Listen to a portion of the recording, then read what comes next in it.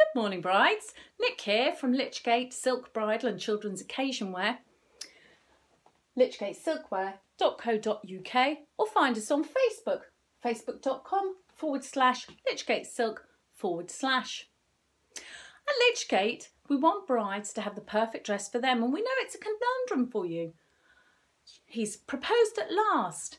You're so excited, the big day lies ahead. But how do you find the dress of your dreams? How do you get the dress that suits your shape? What is your shape? And what will, what will the right dress be? Well, here at Lychgate, we make dresses for brides all the time. So we really know about these things and we always discuss it with you in a consultation. But I thought it would be helpful to give you a few pointers. So this is the Empire line dress. It came from the period of the Empire in France in the 18th century. It was a nice flowing gown which people really enjoyed wearing. So the main feature of an Empire line dress is this high waist. As you can see, I've drawn a gown there with a high waist and this sits just below the bust. So this dress is absolutely perfect for brides with a small bust. Not so good for brides with a bigger bust as it tends to emphasise the bust, but if you've got a small bust, why not emphasise it? Also very popular for brides who might be pregnant. It's really difficult knowing what shape's going to suit you when you've got that bulge. And the Empire line dress really shows off a pregnant figure so well, but it doesn't impede that bump.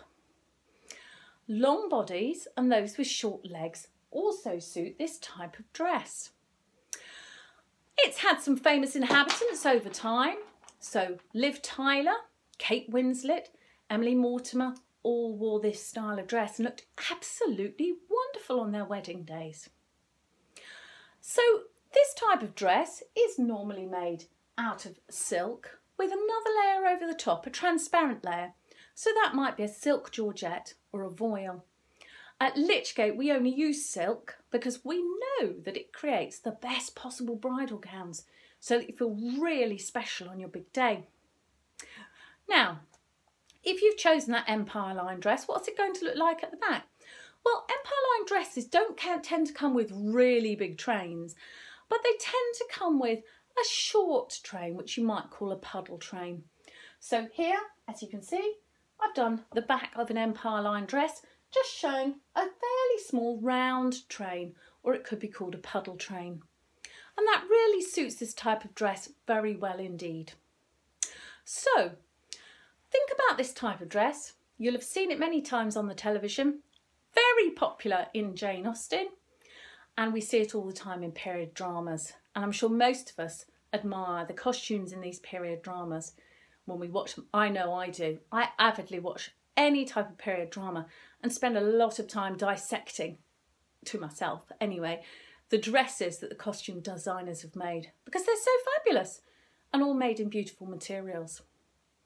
So, just to summarise, if you've got a small bust, short legs, long body, or you're pregnant, the Empire Line dress could be the dress for you.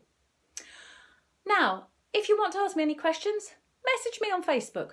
I'm very happy to answer them. Otherwise, I'll see you again for our next tutorial. Goodbye.